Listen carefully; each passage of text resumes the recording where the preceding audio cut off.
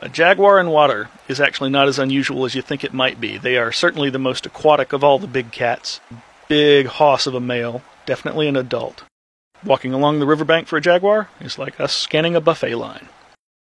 And all the way